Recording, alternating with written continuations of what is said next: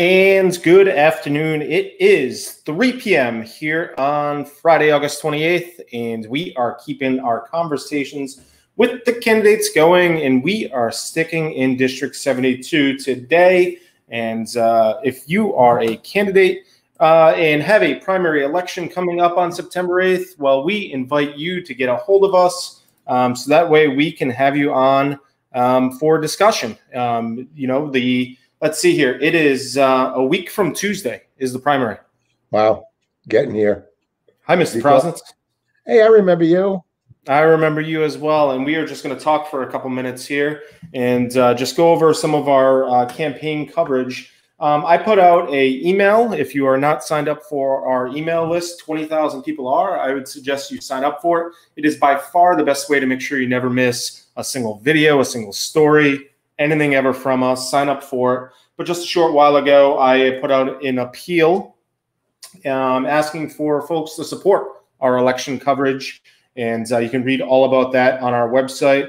But uh, our newsroom and our business is mostly powered, and I'm very proud of this, by our readers and by our viewers. And uh, to ensure we have the resources to properly cover uh, this election, uh, we're asking for your support. So uh, visit whatsupnewp.com and you can read all about that now. All right. So what we are going to do is we are going to stay in District 72 today. I love when things line up and they make sense and we're not throwing seven. I feel like I'm uh, 71, 74, 75, 70, you know, all over I, the place. Yes. We'll have District 76 on tomorrow. There's not a 76. Yeah, there you go. But um, we are going to be joined by Mr. Chris Semonelli. And Chris, good afternoon. Good afternoon, good afternoon, Ryan and Frank. Thank you for this opportunity. Of How course. And Frank, you heard Chris, and Chris, you heard Frank, and everybody can hear did. everybody, correct? Perfect. This is a good thing. Good start. That is, is a good start. Chris, is it cold over there? Because you got earmuffs on. Well, this is the best way I find to find out what's going on to hear it clearly. Yeah. There you go. Yeah. Um, if for some reason uh, people don't know who you are, Chris, uh, why don't you tell us, give us a little bit of your background and uh, who is Chris Semonelli? Okay, so uh, I'm Chris Semonelli. I live on 542 Walcott Avenue in Middletown. I've been married to Trish Semonelli for 40 years. We have six children and nine grandchildren. I graduated from Middletown High in 73 and CCRI in 77 with associate degree in engineering and Northeastern University with BS in honors in chemical engineering and an MBA from Pepperdine University. Um, don't hold that against me.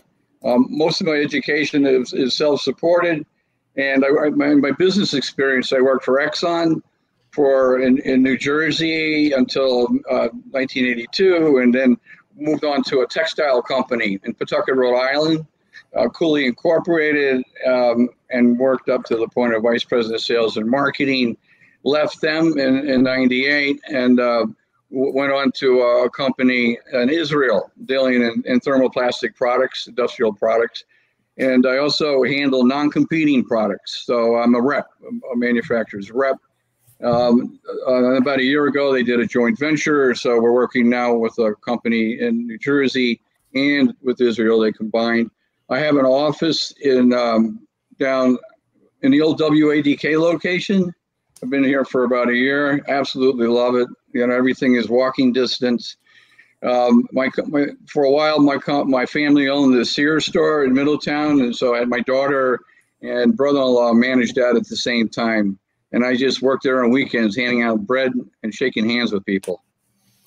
That is by far the most thorough bio that we've had yet, and somehow. but first, two things. Uh, Frank and I spent, I think, both about three years in that building um, that you were in in your office. I love it. I love it. and um, you didn't mention any of your political background and career. Sure. So um, I had um, I did three terms on the um, the town council in, in, Middletown. Two two as president, and I was on various boards. Uh, I was on the uh, beyond that a charter review board, a coyote commission, a few uh, regional high school um, programs and I did that for about three terms, and then um, you know then left and went off into the business world. When was it that you left the council? So that was uh, it was about 12 years ago. Okay. And Now- no, nothing in politics uh, in between? Um, just you know, uh, uh, it's a very good question. Advocacy. Uh, once I left um, politics, what I did is I focused on educational improvement programs. When I was a president of the council, I toured um, one of the businesses in asked the Northeastern had a mentoring program, co-op program, and I asked if there were any students there, and there were none. So I, I got together with a whole group, including Steve Heath, who formed Fab Newport. And what we did is we, we had this Newport mentoring program. And what we would do is every 60 days, we would load up a bus and send students with us through uh, various venues, whether it was the Naval War College or composites manufacturing, to show them career programs. After that, this this same group, what we did is we developed. Uh, uh, we think that STEM and STEAM education is extremely important, and Massachusetts has a strong program that we'd like to, to emulate. So, I was with one group, we started a charter school um, initiative. We actually applied for a charter school, and it was approved to the first level. It was going to be in the Boys and Girls Club, but we uh, we didn't get the funding. We needed five hundred thousand dollars to convert. Um, that that and then after that we had um, we, we had a couple summits we had a stem summit and uh, the salve regina uh, where commissioner gist opened up and we also had a, a stem summit at ccri so the advocacy has been there for for me for a while and that's kind of the fun part. You we wake up in the morning thinking of that. After that i'm sorry but uh, you asked. After that um, i transitioned over we have a disabled child and I transitioned over into the uh, the disabled advocacy pro- environment. Um, we um, so I joined um, uh, the DD Council, which is up in Providence, um, and also RIFORCE, which is a which is a group of parents at, that have an advocacy initiative, and I also have a, a 501c3. And what we do is we fund initiatives like we funded a an open house for parents that had kids, and then we had we had um, people come in and, and talk about the issues that are before them. And so that that was kind of the springboard, really, for the beginning of um, my reentry into politics, because I saw some things occurring up at the state house that I was not happy with whatsoever. So let's dive in there, Chris. You are running for House District 72, which is Middletown and Portsmouth. Um, let's talk about uh, why you chose to uh, run for this seat. Why are you running for office? So um, again, um, one of the things that I was not happy with was budget cuts that were occurring up up at the state house, at the DD, and um, in Buddha. It's Buddha's the uh, the organization that handles disabilities. And um, for a period of time, I was on this side of the microphone fighting for budgets. Uh, the, the governor was cutting budgets back two years ago of $18 million. And so I went before the microphone with a group of people, and we were able to put plug that hole again. Um, then recently, um, in the last, well, actually, I've been running for eight weeks now, total eight weeks uh, from the idea to being on the being on the, the Zoom with you. And um, what I was noticing that there was something called work share, and what they were doing is the uh, representatives of Buddha that, that are talking to people and providing answers for them were taking two days off a week, and they were getting paid the $600 um, a week uh, salary, so it was being paid by the government, which is a good thing, I guess. But it was it was um, it was breaking down to 40% less in service, and I said that's it. I, I, I've just totally had it. I need to get on the other side of the microphone. And I said, and that's the canary in the mine. That's the issue that is going to grow. And since then, it absolutely has. The uh, Supreme Court came back, a, a judge came back to uh, the Buddha group and said that you are not providing the services that are needed for your individuals, and you need to come back to us in 30 days with a plan on how you're going to fill these holes with lacks of service, and you need to tell us how much money that you need. And um, I'm a part of that group to help them with those answers. But at the same time, then recently, two days ago, um, there was this announcement that Buddha is looking to cut their budget by 15%, and they're looking for ways to cut the budget.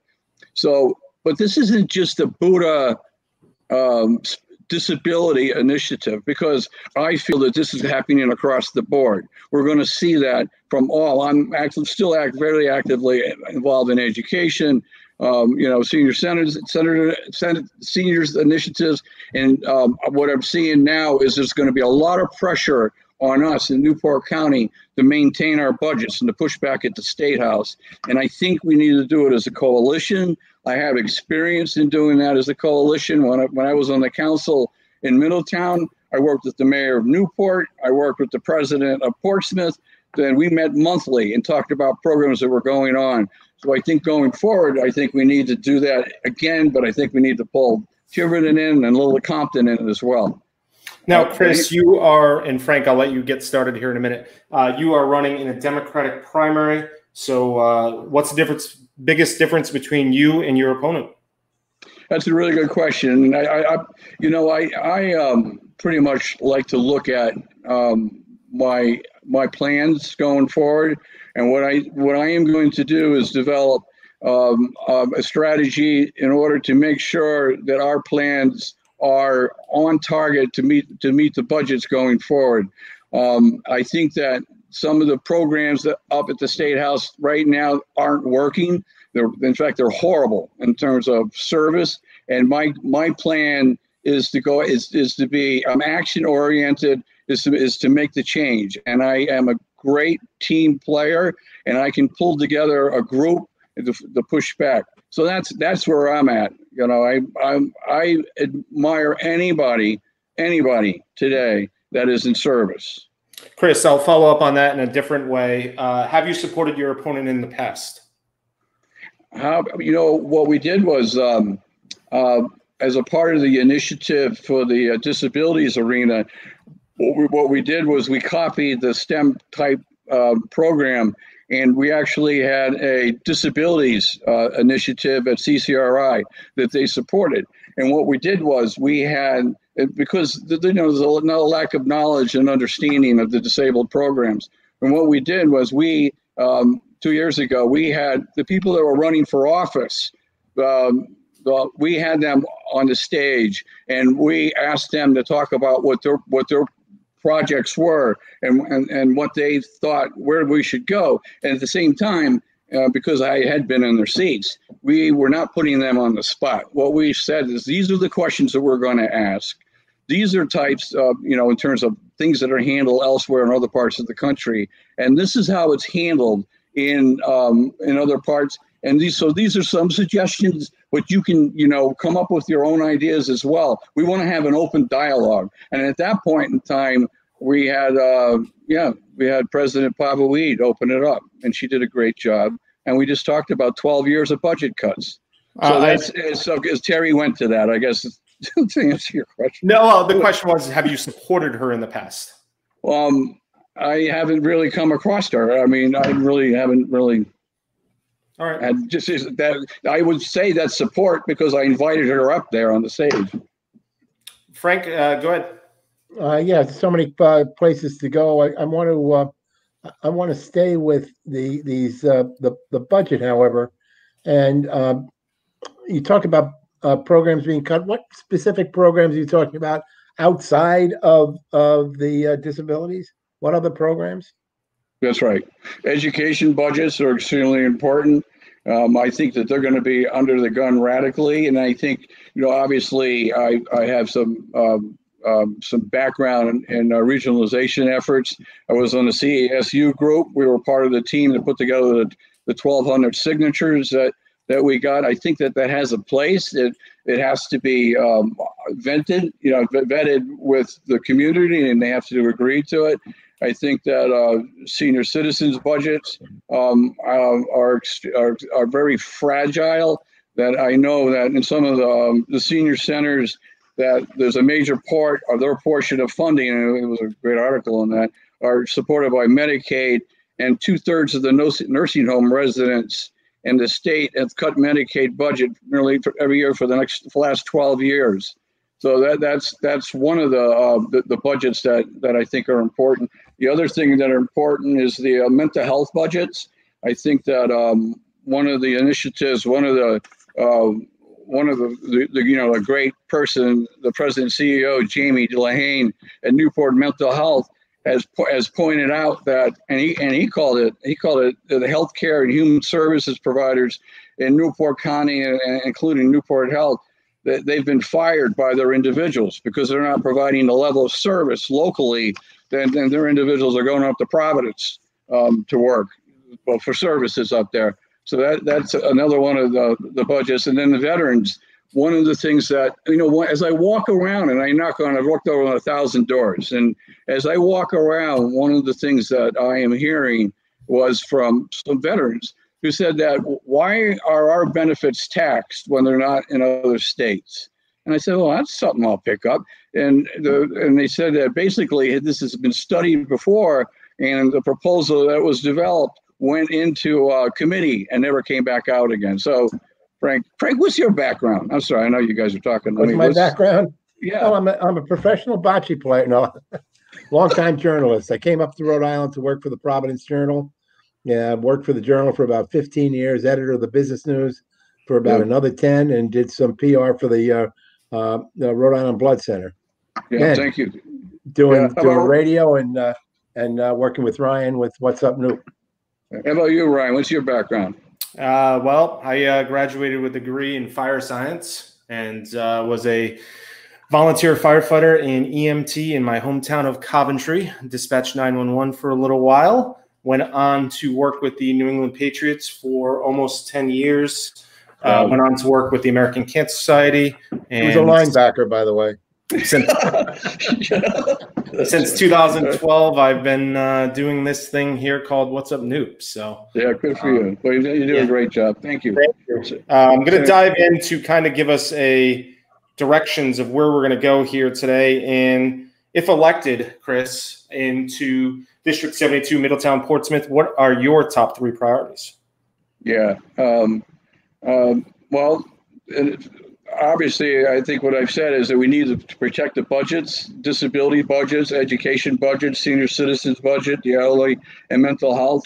The disability budgets are under incredible pressure, and I, like I had mentioned that they just got it. They're just talking about another 15% reduction, which is an absolute joke um, DSP workers that are uh, disability service providers in the system themselves are making less than $15 an hour, and good disability workers have a passion and they deserve to make more than $15 an hour. So that's that's that's that's part of what what um one of my initiatives are. So um, developing the coalition that I have talked about, the pushback at the state house, is a number one priority for me. And and again, as I've as I've walked through, I've identified um, is- issues that that are extremely important. One is that veterans, right, need uh, need to have their retirement protected.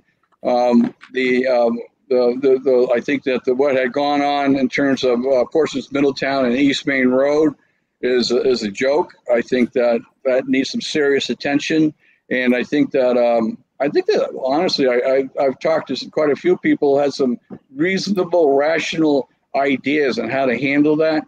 Um, and I think that we then I would go to D.C. and and to uh, Senator Reed, which I've had experience with quite a few times in some of the initial, initial education initiatives and talking about funding. I think the, one of the things that I had heard too was that um, across from the soccer fields, um, on the Oakland Farm traffic light needs to be re- replaced. Uh, well, not replaced. They need one, and they, they've been talking about this for a few years now. Um, the poor people out there, as I'm knocking on doors, they're asking me, when are we going to get our light? It was. It's already been approved. That so one of my initiatives is to get that funding for that for that light. Um, also, again, as I'm walking walking the streets, um, across the new gas station right across from the and the the intersection right across from the Union Road there's a major problem with people getting out on that, and it's been studied. Um, um, what the problem? A mother told me yesterday. She said, "You know, I'm I am not going to take my car with my children and step on the gas and go out into the middle of East Main Road because the guy's beeping his horn behind me, and because I can't get out because of the speed the speed on that road. So that is absolutely one of my initiatives. And and another the final one is that um, as I'm walking again in Middletown, um, I, again, people point this out, and things are so obvious that um, as people go to Second Beach, when they when they're going to the beach, you know, Purgatory Way Road is usually the way to go. but um, um, but it, it, backs up. And so people what they're doing is they're taking Green End Lane as a shortcut, and it's like it's like uh, it's like Mario Andretti going you know going down the Indianapolis 500, zoom right down, and there's nothing slowing them down. So I'd like that to be studied, and we'll see what the experts come back with. Maybe it's a stop sign or two. So those are some of my initiatives. Those are my three. It seems like there's a lot of traffic issues. Well, um, these these are the uh, I, these are some of the ones the low I call it low hanging fruit. The traffic issues are the easy ones. These are ones that are being pointed out by people that have been, been partially studied, almost done. But when you're at the 90 yard line, you don't have a touchdown. The budgets are the are the most important part of what's going on, and and in the COVID experience that we're in right now, the school opening issues are extremely important. Too, those are monstrous issues now, before. Just to stay with the traffic for a minute, because um, you know uh, we heard earlier today from your opponent that you know Oakland Farms is getting a traffic light. It is scheduled. It doesn't even need funding. It's being done in 2021, early 2021. Yeah. Um, and also, um, she went through the whole DOT thing. I mean, it, it seems like um, those things are in a different place than where you may say they are, or where people may think they are. And, and, you know what? Maybe because I mentioned them, they're, they're becoming a little more highlighted than they were in the past. Um, but I don't see any direction on East Main Road. And I and from what I had seen, and as a result of that last meeting, it's still nowhere. And so I, I don't agree with that. Um, I don't look at it like I have an opponent. You know, I I just we're, we're both in service together, and they, some point some people can have their view, and it's, it's okay to talk about these issues when I bring them up, but they're not resolved. And the people that are that are involved in them specifically, they're not resolved. In fact, when when the, the light was mentioned um, at Oakland Farms, uh, it was mentioned by uh, one of the senators that there's no money. That's what was mentioned. With no money. So if I mention these and they get resolved, well, that's some gravy on my on my uh, campaign. Well, I also just want to clarify that uh, to the average voter, you do have an opponent because they have to choose between you and somebody else when they go to vote on September 8th and November 3rd. So that's why I say opponent. No, I don't. Yeah, yeah, yeah I, am with you. I'm just saying, I I just acknowledge people that are that are in service across the board. I just I just think there's some things that need to be fixed. I'm going to fix them on my term. Go ahead, Frank. Well, yeah, let me ask you about uh, uh, a number of things, but start with um, the uh, Gina Raimondo's reaction to the uh, COVID 19 uh, to the point of the schools now, economically. Right. How's she done? I think that um, I think the governor is doing a great job. Um, schools should open carefully, um, but I think that, and I think Colleen Jermain has done a great job of listing some of the specifics that need to be done. You know, it's it's it's really scientific, right? It's it's really it's it's a math thing and it's a science thing. The um, the thing that is less science oriented are the emotions that become in, in, impacted, and will teachers come back? But um, I think that what I did is I watched a, a, webinar, which you get to see a lot of them when you're working from your office. But I saw a webinar on um, the chamber, and it was the National Chamber of Commerce and they had somebody who came in and talked about the, the issues with COVID. And there's a there's a book, and it's 40 pages, and it's a guideline of how to open a school. And what they said basically is it's all about testing, and it's about six feet. Okay, six feet, you're not going to have a problem. Testing and follow follow directions in this book, you're not going to have a problem. But five feet, you'll have a problem. Four feet, you'll have a problem. The other thing that I think is um, is uh, another issue. And I, the Commissioner of Education mentioned it earlier in um, this week. She has something called the Commissioner's uh, newsletter, Commissioner Corner. And, and I thought I thought it was very insightful. And what she said is that there are some students that cannot learn from Zoom. They need individual attention. And we need to pay attention to those students. And we need to bring them into the schools. And the other thing that was most important, and this kind of touches on the economy a little, is that the parents of those students need to work.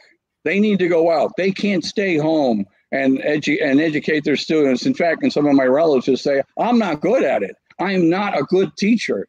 And so I think the fact that um, the governor wants to open the schools, I think the fact that the commissioner of education recognizes that um, these students need that education, but also recognizes that it's a social issue, not only just an education issue in ride. And these students and the and the fact that these parents need to go out into work is, is part of their obligation. And I thought that was that was tremendous. Um, so that that's basically uh, my overview on, on the COVID. And I totally support the governor in terms of the direction and where where she's going with this. And I think that she's very careful. The only thing, the only concern I have is about losing the governor, because um, you know this is her. She's gone now in terms of term running. She doesn't need to be here. I think she's going to hang out for for as long as it takes to get this done. But I'm sure DC is calling her.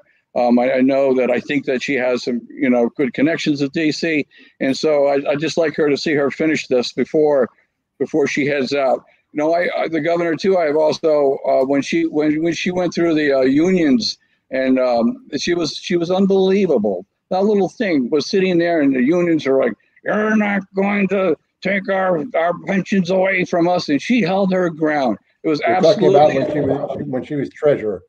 Yeah, and she was absolutely amazing. She and she just looked them in the eye, and she just said, she said, we have a math problem, okay? It's just a math problem right now. And that's what she's doing right now, too. She's saying to people, and that's a little bit of that Italian background, too. I think she says, she goes, she goes when you're going out, knock it off. And I, and I think she's, she's garnered respect.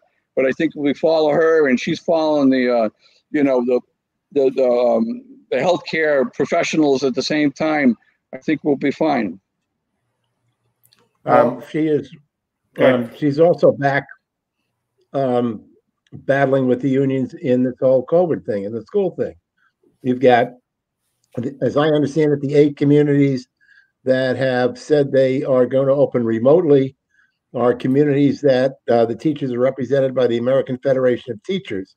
I'm not sure where the National Education Association comes down, um, uh, or whether they have, or whether any of them have made any kind of a um, uh, a public statement. But um, it's, um, uh, I guess, as, as someone suggested to me, it, it's right now a game of chicken, and we're going to find out what happens on Monday.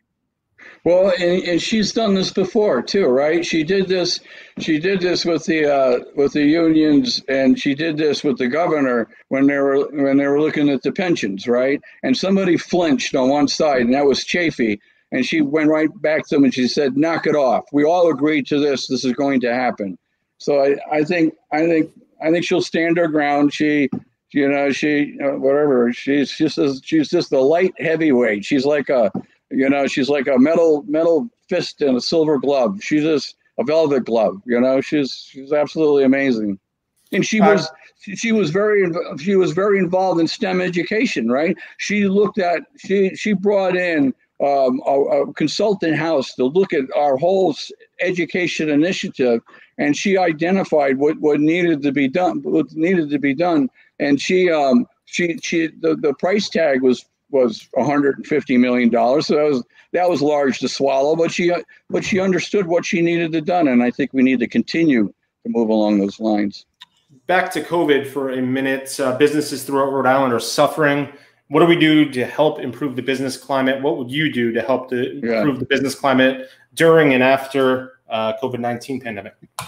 Uh, you know, um, so that's uh, like a bear trap kind of thing, right? First of all, where we're at on the on the restaurant side, forty percent of the businesses are could go under, right? So there's there's a regional restaurant group, right? A regionalized restaurant group that is offering suggestions on how to open. And I think we need to listen to them. And I need to think we need to work with them. I think the fact, though, too, I think that the fact that I'm sitting there staring at tables outside here where you guys stared out these windows at one time, you know, I, I think that the, the city has been flexible enough and the tables, right, opening up on the outside were, were a godsend. And especially after uh, all, all the change that had occurred. So I think that those those are some, the thing I'll tell you we shouldn't do, and that's just Chris speaking, is that we need to be careful on minimum wage. We just need to be careful. Okay. I talked about DSP and I talked about those workers, they're not making what they deserve.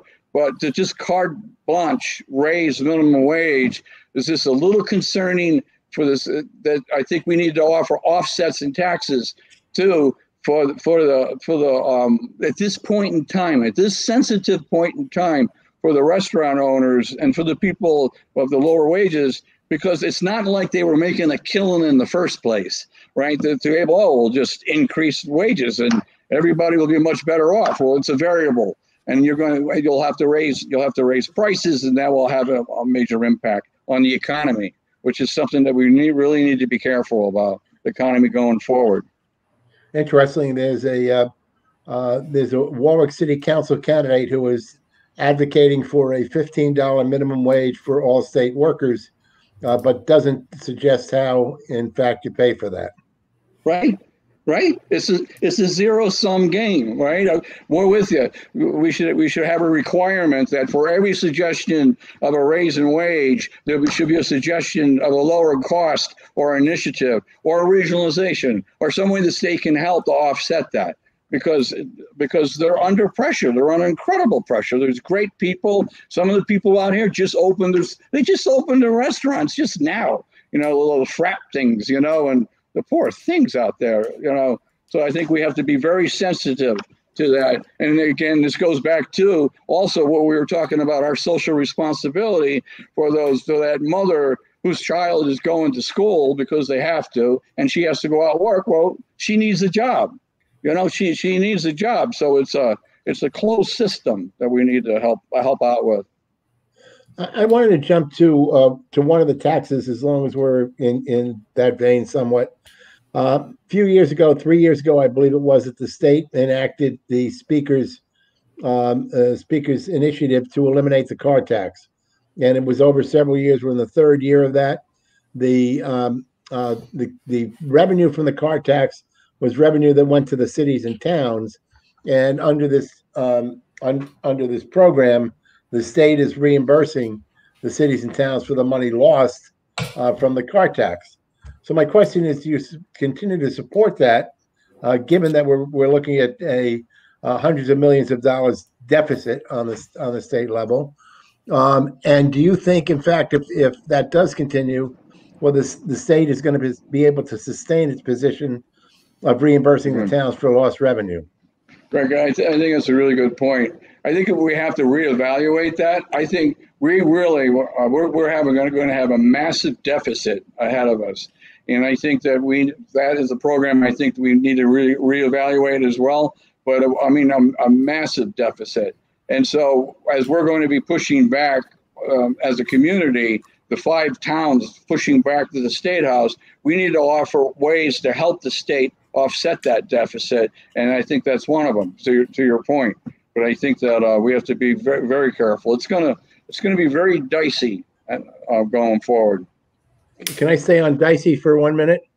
Um, and that's um, another potential potential revenue area is uh, legalization of marijuana. Where do you stand on that? Yeah, um, I isn't it amazing how busy those places are. Isn't it? It's just absolutely amazing. I mean, you know, I, I get my haircut done out at uh, in Portsmouth, and holy cow, trying to get out there, you know, they have people uh, uh, uh, organizing the traffic in their little parking lot, and it's just it's incredible. And all the whole shopping center is full. So um, legalized right now at this point, I don't support that legalization of marijuana. I don't support that. I, I, I think that they're they're very very busy as it is, but I, I just don't I, I don't support that. Chris, I'm going to bring us back to 72, District 72, and Frank will probably keep us at the State House, so we'll we'll yin and yang here. Um, what do you see as the biggest opportunities, issues, and needs for District 72, your portion of Portsmouth, your portion of Middletown, and are they the same in both communities? You know, um, it's a really good point. I, I, just have to keep going back to budgets. I don't think we know how bad it's going to be. And I, I think, in terms of education, I think we're going to need to continue to fight for education for the dollars that we need for education. I think that perhaps, I don't know if regionalization fits in it, but I think we need to have that opportunity because that is a, a potential way to save costs. It's not why I would do it. It's not why I would do it. I would do it because it's going to better education. It's going to provide more initiatives for that. And um, you know, um, again, you know, okay, so it's low hanging fruit. It's it's not sexy, but some of these these these things like East Main Road, okay, it's insane. I remember when I was a kid, riding a bicycle down East Main Road, right to the uh, to the, the ice skating rink, right, and and coming back and saying to myself, I'm gonna die, right? I'm gonna die on this road of my bicycle, and it's the same road.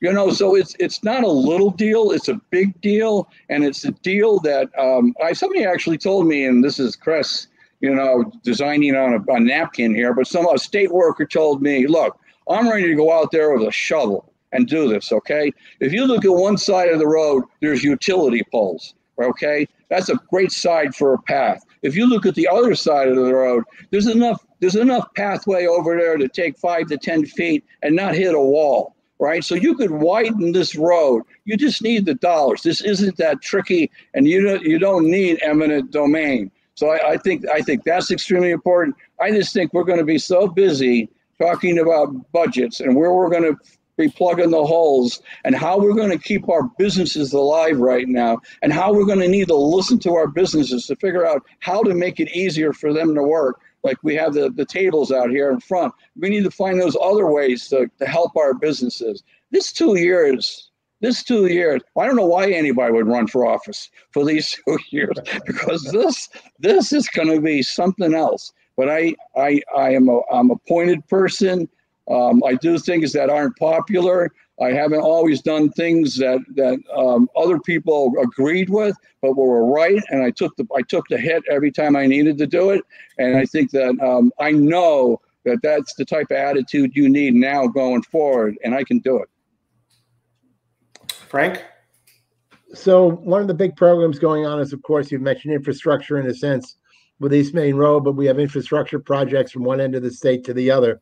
Um, it seems like when I when I go for a, a, a, drive that I usually get to someplace in 15 minutes, takes me at least a half hour because I've got to get delayed by by some project. The um, the reason the state's in the situation it is because on the on the roads and bridges is that the money that was designated from the gas uh, gasoline tax never really got to maintaining the, the roads and bridges. Right. The 9/11 money never got to 9/11. The uh, the tourism money a number of years ago uh, was was drained out of the out of the state tourism budget, and it all went into this black hole they call the general fund. Right. Um, now that we're making all these changes to our roads and bridges, we're fixing them. Um, it would seem that there has to be a mechanism to make sure that the money that is uh, there to maintain them is there. What it, doesn't seem the General Assembly has had an appetite to do that. Um, how would you how would you help change that? Well, I, I would I would look at it in depth. Um, you know, and I guess also there was some tr- question about whether um, the control should be moved from the DOT to uh, to another group, and um, I I don't support making that change. I guess what what I am talking about, the, where I'm talking that the funding is going to this going to you know, when I think you're going to get the deer stare when you go to Rhode Island and talk to them about we need some more money for roads. I think really where the money needs to come from is the feds. And I think that Senator Reed would have an appetite for investing in, in the roads, and in, in, in, in particular this this road.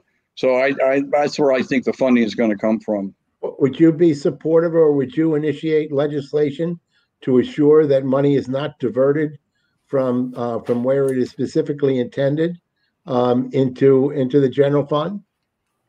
I, I, I just need to look at that, Frank. To be honest with you, before I. Uh, let's see here. We go back to 72, and we are looking at uh, what do we do to make 72 Middletown and Portsmouth more attractive and affordable place to live for everybody. That includes families, for seniors, for veterans, for all. Yeah. Okay, so uh, every day I, I run two or three miles, right? Not real fast. And some people say you're not really running, Chris. And I and I watch the, the sun come up on Second Beach. And I and I, I would just say that we we have one of the most beautiful places in the country, if not the world.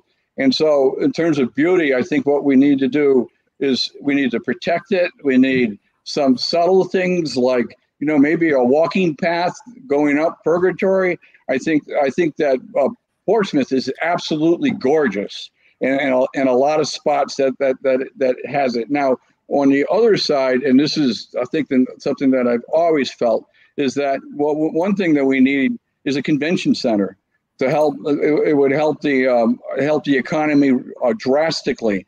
I think that as you go around the country, and I when I was flying, go around the country, when you say I live in Newport, everybody knows it's beautiful here, and I think this is my opinion I think that the uh, the visitor center is nice, but I just don't think it's it, it had the traction that it needed.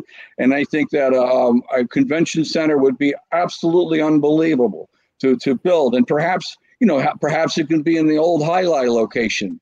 Which, which would be right off the bridge. You could have nice transportation going into town and enjoy the restaurants um, and the and the beautiful venue. And so I, I, absolutely think something like that. And I would entertain if other representatives or senators would want to have that conversation. I would absolutely think, and I and I think that some of the people in the um the uh, the, the the the board the the uh, whatever the, the transportation bureau the bureau of uh, um, um, whatever it is, had an interest in it too. They said, "Think, "Chris, that's a great idea," and I just think I just think that would help capitalize on everything that we have.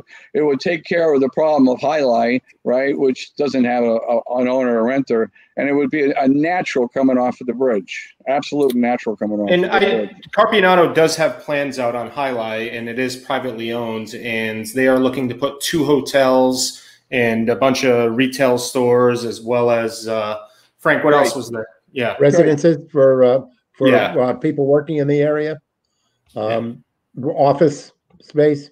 Yeah, they, pretty, they had two hotels. Yeah, great, great. Well, then, well, then, then, uh, well, then, then have it down here. You know, do something with the visitor center.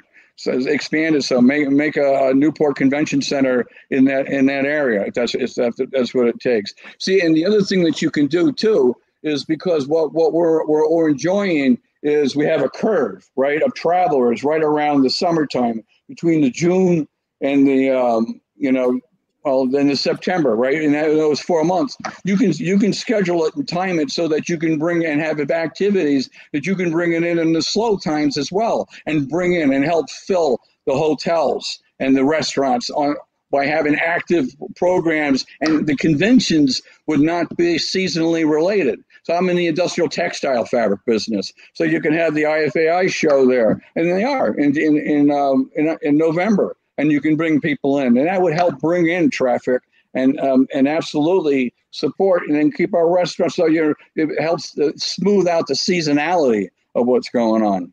So I just wanted to follow up. So what do we do to make it more of an affordable place, a District 72 for families, and a better place for families? Well, you know, and that's what you said is extremely important. Um, affordability. Okay.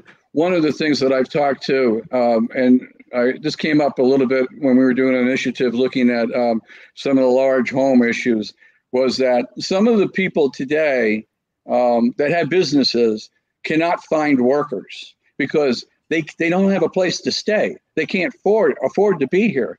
And so I would totally support the development of, of, of low cost apartments in, in other parts of the country. Actually, what they do is they have communities where they have, you know, larger homes and then they have smaller apartments. And I know some businesses that would absolutely support that. And that would provide a living space for, for these people so that you're, they're not having to commute in from, from way outside that. So I that just that is such a no brainer. And some of the business business owners, you know, like Bob and some of the business owners said, when are we going to do that? And some of the architects, brilliant architects, said, "That's this is and then maybe you offer some tax incentives to build these at the same time. And that's what happens in other communities as well. They offer tax incentives to build these smaller units that are that are affordable housing. That then helps that helps fill this manpower deficit that we have right now.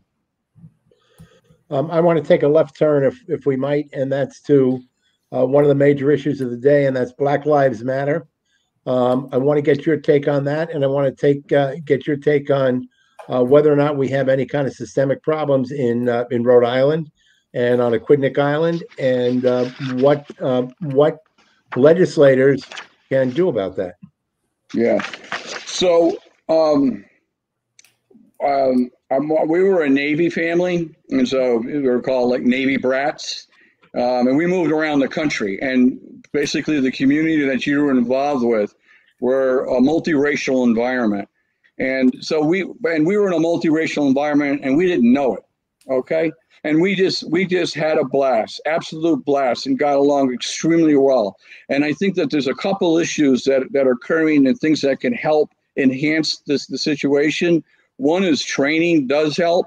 Um, I was at Exxon um, in the um, oil business, and we, we actually had we had training, um, gender bias training on it. And one one of the things that you know you didn't realize that you, that you had an, a slow tendency towards bias, and you didn't realize until you got at the end of that.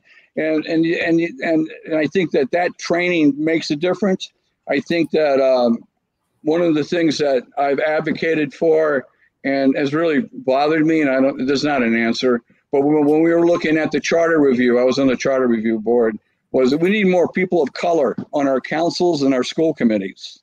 Um, and that that would help tremendously because that would help them guide us along away from making decisions that were gender biased that you know you, again you, you you're not purposely biased you just don't see it and if you can have more people of color on the council and on the school committee that would help you out tremendously.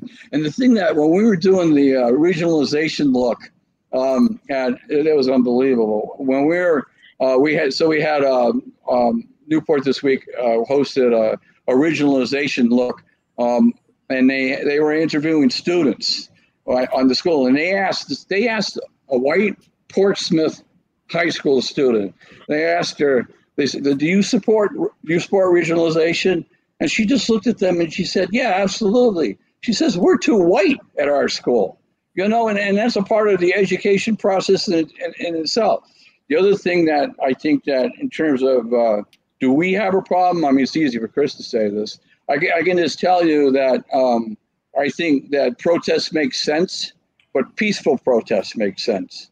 And I think that what Newport did um, in terms of helping when they understood that, the, there was going to be a protest, a peaceful protest, they helped. They helped. They helped guide the traffic. They helped. You know, they helped the people uh, move move around. So I think that type of thing makes sense um, going forward. I think the other thing in terms of uh, do we have a problem? I can just tell you, we I'm on the, uh, the Newport, the Middletown Rotary, and we, we sat down with the chief of police. Um, and then because uh, as a part of Rotary, we we uh, one of uh, Hector Robles, one of the things his idea was to uh, better integrate people in the uh, community, have them to understand the, the police activities, um, and one of the things that um, the chief of police in Middletown pointed out was he said that we are one of the well, 10% of the stations in the country have department certification, and that's what we have. We, we certify, and it, and I think it makes sense that it's done in Middletown. And one of the things he said was that you know as a part of certification and your your approved um, ways of handling people, he said a chokehold would have never been done ever have been done with a certified um, a certified um, police department. And the other, the other thing that I, I, totally support too is body cameras. I think that on the police, I think that makes sense, and I think that it makes sense to the to the chief too. Because that's feedback. You know, we can always learn more. We're not, you know, we want to be transparent as things are going forward, and so we absolutely we're gonna I absolutely support that. So I think, but I think, um, you know, when um, it was it was interesting. It was on that Saturday of the protest. You know, I saw um, I saw the guy who runs the surf place, surf, and he says, "You're going to the protest at three o'clock." And I think we all know who I'm talking about. And so um, um, I said, uh, you know, no, I had something. and he was down there. We had we had it was an integrated protest is what there was down there. Everybody support the people from Fab Newport. Everybody realized that we need to have our eyes more open and we need to prevent what happened. You know, the chokehold happening here, and we need to understand ways of preventing that, like the certification. And we need to do the training. Some of the ideas of training had come up, um, and we and we need we need to have more people of color on the council and we need to have more people of color in the school committee so to help us make these decisions so somebody can raise their hand and say, wait a minute, have you thought about this? Like some of the things were said when I had the gender training. So um, I hope I answered your question, but I, I, think some of the people that I had um, had conversations with um, have there are some no-brainer ways of preventing massive problems right now, and I think it's just totally unfortunate what is what is occurring elsewhere. But I think that uh, things like that we do already in, terms of sort of, and it's expensive and, and, and it's elaborate. And in fact, I was just talking to a police officer because he's he's down, Mike from the um, um, he's on the DD council. He's the chair, and I'm going to be the vice chair. And he said, Chris, we do certification training also up there. We have 450 people on our force. And we just, you know what a pain in the butt it is, but it is a good pain in the butt. We just had. So, so can I, Chris? Can I ask you this because you've said it a few times?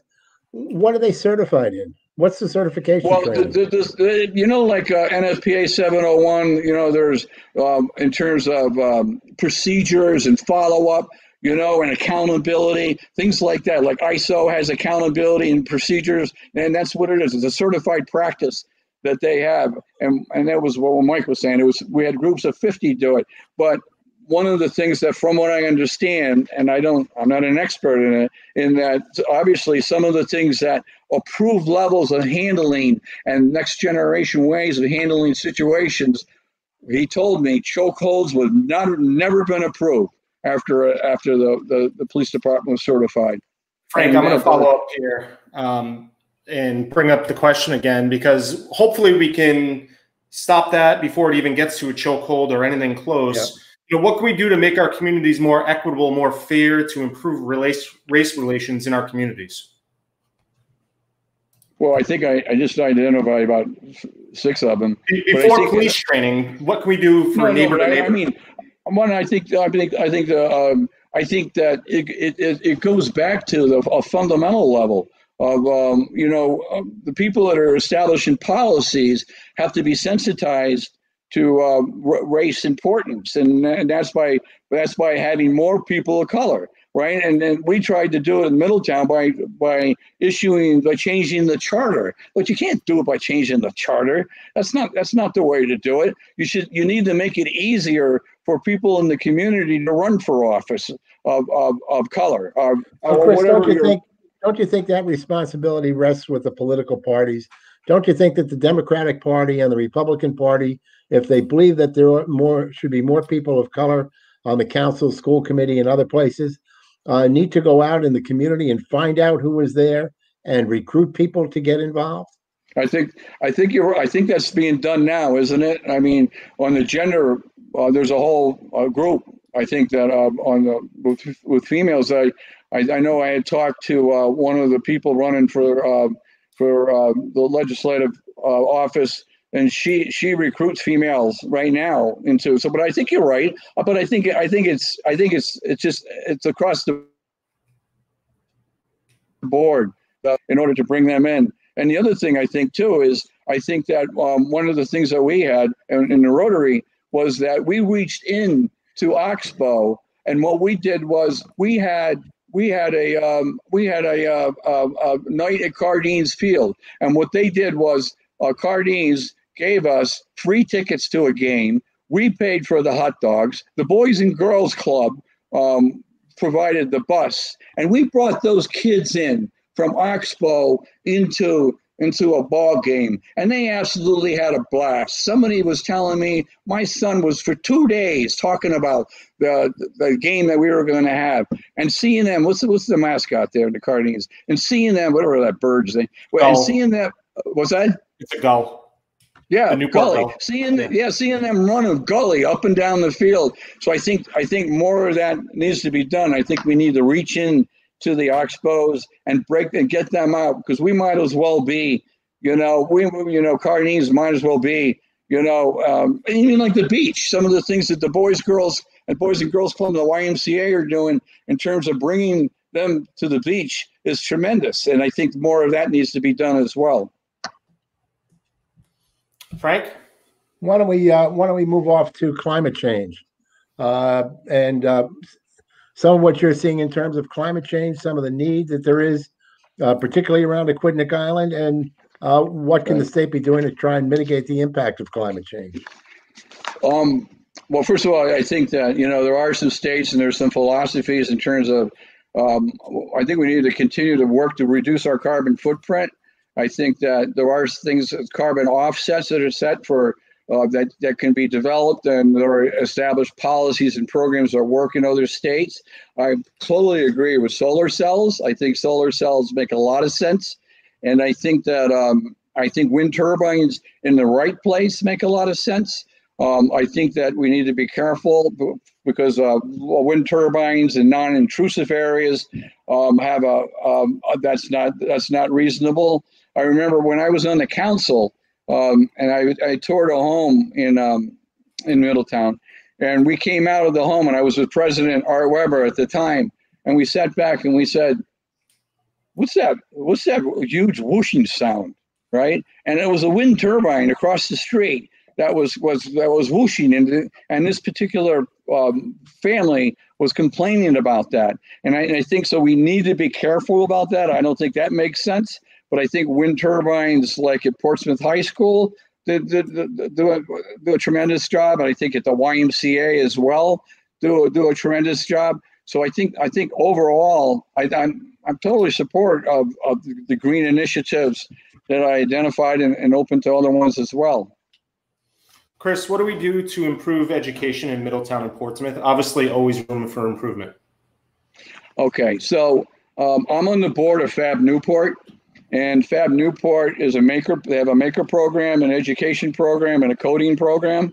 I think that um, what they do is they fill a space with coding and, and 3D printing that the uh, the local uh, um, the local teachers don't have the capacity to do at this particular time because they're so busy. And so what we do is we bring teachers in um, and teach them uh, 3D printing, and we bring their students in. And so the uh, the um, the Rhode Island Department of Education actually has initiatives uh, that allow parents to bring their students into a Fab Newport or whatever it is to to uh, to bring them in and allow them to, to, to be a part of 3D printing. And so I think that you need to excite the students in the middle school and the high school level because once you do, there'll be less of a burden for teachers. And I think then that that they'll you can help set their career directions. It's like the PSD workers that I was talking about too. We should have we should have training programs for them the high school level, and also maybe a, a graduate program, a CCRI graduate program for them,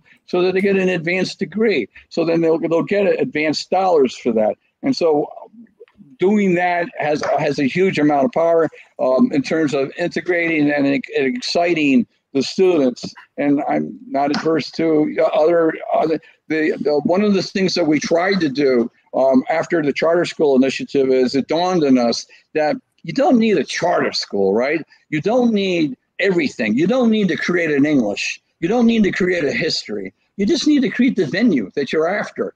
And so one of the things of what we tried to do with another group with President Dooley, and it was part of this this group, was to develop an advanced manufacturing program because I think that we need advanced manufacturing education because that's where it's going. So what, what's happening in manufacturing now is not Hervey make weaving the fabric behind the machine. It's running the machine that's out there, running machine that's running 25 machines.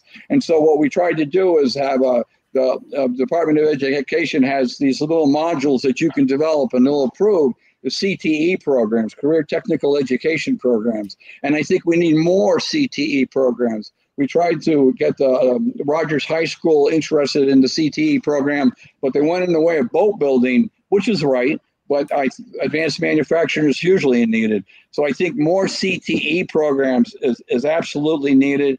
And I think more Fab Newports maker programs in the community is absolutely Newport and needed. The uh, Fab Newport factory, as right now, spread out into uh, into the library system up in Providence, and they're getting hundred thousand dollar grants, even in this environment, financial environment, to spread the, the technology for Fab Newport. And the other thing, and I know you're running out of time. The, the, the other thing is that we, what we did, our our our group was we paid for my nonprofit paid for it. We had a coding class on because a Zoom coding class on Saturday mornings. Tom Kowalczyk ran it, and we we worked with we had educators from Fab Newport and we had educators from uh, University of Rhode Island teaching coding to the kids from 8 to 12 years old just to excite them to get them interested in coding which is the next generation of jobs and opportunities and we paid for it. It cost uh, I think it was like three four thousand dollars to pay for it, and they're continuing on another vendor venue. So I think Zoom is allowing us to the work with in the homes with with some of these niches. Chris, you uh, mentioned it, and I think many people may associate or know that you're a proponent of regionalization or unification. What do you say to those voters that differ than you ideologically with school education. Yeah. Wireless. Yeah, I think I just I think I'm losing the batteries in my headset. Um, what, what, where, where, do I see it with schools? No, uh, the, the question was about regionalization, Chris. Correct. Um, regionalization schools on the island. Yeah. Correct, correct. So, well, we had a we had we had an initiative. Uh, we got 1,200 signatures, which was difficult. Okay, it wasn't easy, especially in a pandemic environment. You try to get 1,200 signatures in a pandemic, and well, we got it, and it went before the council, and and and there was some really some legal questions about really had what had occurred. But I think regionalization has to be examined, and that's what wasn't fair. That the the, the people in um, the people in Newport and the people in Middletown did not have the opportunity to sit down at the table. The things behind the curtains and the issues on regionalization are obvious, right? There's things like contracts, right? We have a contract. Why would we enter into a, an issue where we could have a problem with a contract? Lay it on the table. Talk about it. You know, um, the other terms of location. Where would we and lay out all the issues, right? And then go through them one by one. I I, again, I think that regionalization is something that would allow us to have more educational opportunities for our students and maybe a by maybe a, a byproduct would be economics. Every time i, I talk to people now as I, because they know i'm on a csu uh, initiative they come back and they say i can't believe they didn't talk about it. That's why you have whatever you got 19 people running for town council so Chris, Chris let me uh, ask uh, one more time. You know, there are going to be voters out there that you're looking for their vote, and they may want to keep Middletown. There, there's Middletown voters that probably want to keep their school. There's Portsmouth voters. What do you say to those voters who don't want to see regionalization but want to support you? What What do you well, tell them? Well, what, what I tell them is, can we can we sit down at the table and talk about it? Lay out the priorities, right? Lay out the object, objectives design it the other was governance. Lay out your issues right? Then put together the program that what would make this the most sense for this group. And then go back to the councils and let them decide and let the people decide on it. Let the people decide on on, on regionalization. And we just didn't get that chance. And um, I, there was actually, and have it facilitated. I know one of the local groups, one of the commerce groups, just said we'll pay for a facilitator just to talk, but give it give it its fair share. That's what I would say to them. Um, let me see here. Um, well, I've, got just, um, I've just got one one more question that I have, Chris, and that goes to the leadership in terms of the General Assembly. Would you find yourself being supportive of the uh, of the Speaker of the House, Mattiello, or um, or are you either not decided, or are you decided that you're going to go a different direction? It's the first time I was asked that question. only kidding. No, the, the, I I don't have the experience with with, uh, with the with the Speaker of the House. I can just tell you that I have a pretty full agenda right now with things that I'd like to get accomplished. And what I'd like to do is is get together um, a coalition to, to lay out this plan and then go and sit down with the speaker and talk to him and see what his where he's he's at on it. I have I have no I have no experience with this. So why you know it's like somebody talking about Chris um, and they don't know me. I, I I would work I would lay out what my objectives were and see how he reacted and then I'll give you a report card after that. Here you go, Chris. Why or how do you feel like you'll make a difference? Um, again, I have the experience and I know how to do this. I have um, uh, the drive. Um, I'm not always the most popular guy in the room, but I get things done. Um, my experience goes back to DC historically, um, and I've had a practice of working again with teams and, and being able to create, making very, very difficult things uh, happen. So I just, I, again, I ask for your vote. Um, on uh, upcoming for Rhode Island District 72 representative on September 8th. Please come out and vote for me. It's an important election. It's an important for us to get things done uh, uh, these these two years, and you can trust in me. And the things I pointed out, I will get done. Chris, how can people get in touch with you? I'm sorry. Okay. How can people so get in touch yeah, with you? Yeah. Uh, so my phone number is 401 864 0333. Uh, my email address, I'm one of three people in the country to still use it, is chrissemo at AOL.com. And um, my my web page, uh, my uh, Facebook page is Friends of Chris Semonelli. And thank you for the opportunity. You guys have been great. It was, it was fun. Miss any topic conversation issue that uh, you it's on your mind, but we didn't. Yeah, you're breaking up on me now. Yeah, but I think I, I think I got it. He wanted to know whether or not there was anything that we may have missed that uh, you wanted to make sure you touched on? Um, no, just that you know I will I will attack the, the low hanging fruit, and um, I think that um, um, I, I, look forward to. I, to be honest with you, I'm having a lot of fun. Yeah, you know, maybe you're, maybe you're not supposed to, but I I am a, I'm having a great time with it. The, the, this is uh, I think my um, maybe you call it an opponent, but I think it's been a, a very positive run, and we're we're we're based on our our focusing on our own initiatives and our own policies, and that's the way it's supposed to be.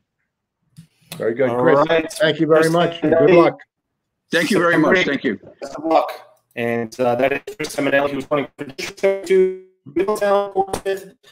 You have a reason to go to the primary on or before September 8th and uh, that Democratic primary. Of course, everybody in Rhode Island has a reason to go to the polls before or on September 8th. For this week, we uh, we fit in uh, 12 hours, 15 hours oh, yeah. of videos in this week.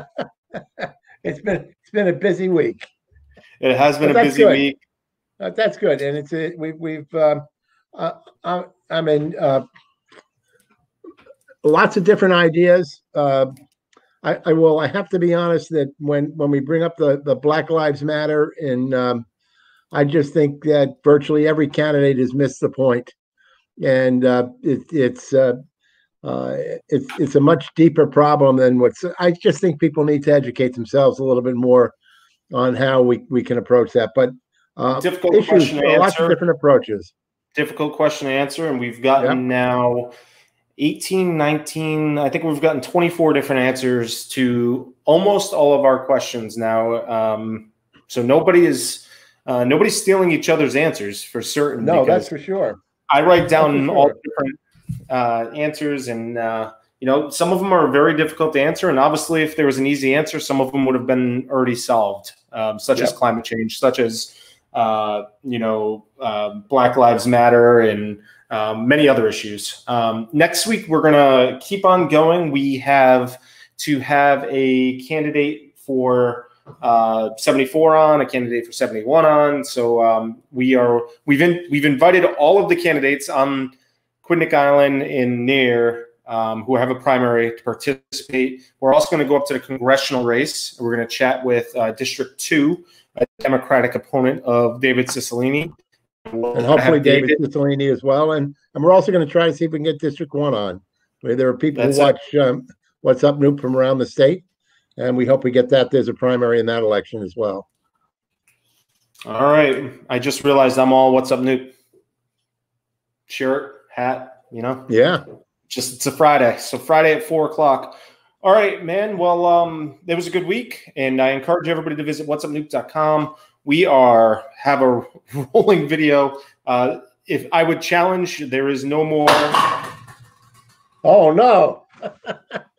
um, try to find somewhere that has more in-depth uh, election 2020 coverage in Rhode Island than here, and we'll keep it going uh, for the next week and a half leading up to the primary, and then uh, we will go from September 8th to November 3rd and get even crazier. And then after November 3rd, we're going to find an election somewhere else across the globe. No, maybe not. November 4th, I have a uh, live stream with Santa Claus, so we'll uh, we'll chat with him then. Outstanding. All right, Frank. Well, you have yourself a good weekend. That is a Paw You Sox hat well. again today, right? Yep. Paw Sox. Uh, uh, so it's paw socks. It's one of my paw socks hats. okay. Several different kinds. All right. All right, Frank. Thanks, and we will uh, talk to you soon. All right. Take care. All right. On behalf of Frank Prosnitz and myself and all of us here at What's Up Newp, we want to thank Chris Semonelli for joining us today. Again, he is a Democratic candidate in District 72, Portsmouth and Middletown. You can find this video if you missed any portion of it and watch it again on whatsupnewp.com. Thanks for watching.